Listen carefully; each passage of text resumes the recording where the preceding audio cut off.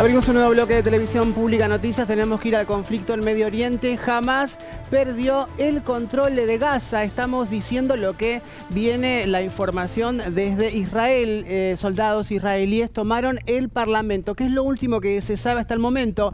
El ministro de Defensa de Israel, Yoav Galant, afirmó que jamás ha perdido el control de la franja de Gaza.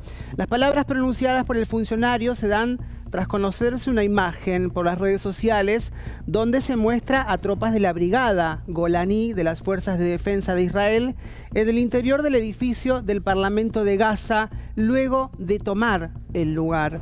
Los terroristas huyen hacia el sur. Los civiles están saqueando las bases de Hamas.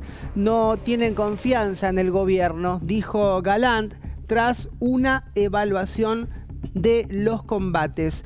Y sumamos, agregamos información referente al conflicto allí en Medio Oriente. El ejército y los tanques israelíes llegaron hoy a las puertas del principal hospital Al-Shifa, situado en Ciudad de Gaza y en cuyo subsuelo, según las fuerzas de Israel, está el centro de mando de Hamas. Desde ayer el hospital no cuenta con electricidad, por lo que ni puede admitir ingresos ni tratar siquiera a los pacientes que ya estaban en él. El portavoz del Ministerio de Sanidad, Gazatí, señaló que al menos 32 personas, tres de ellos bebés prematuros, murieron por la falta de energía en los últimos tres días.